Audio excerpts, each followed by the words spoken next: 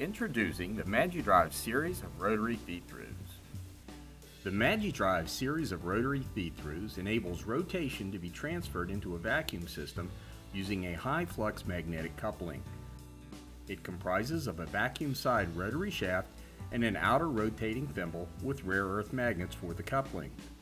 This removes the need for bellows or sliding seals and provides an extremely robust design, fully compatible with UHV environments.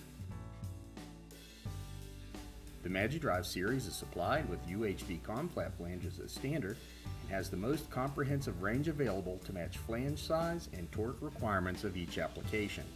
A number of actuation methods are available from manually driven units to pneumatic and motorized drives. MagiDrives are compact, bakeable to 250 degrees C, and are suitable for all vacuum levels.